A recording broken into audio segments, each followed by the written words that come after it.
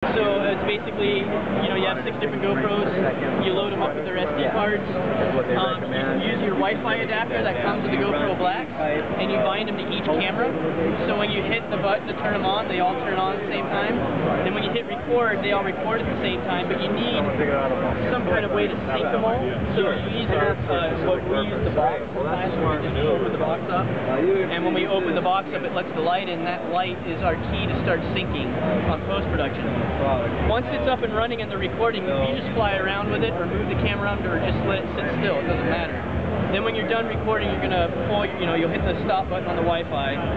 You'll pull all the SD cards out and you'll load them into the program and it'll start, it'll one, it'll sync all the footage together and then it'll start processing all the what footage. level you're And to... you're left with a stick video. Uh, Thanks so much. Yeah, no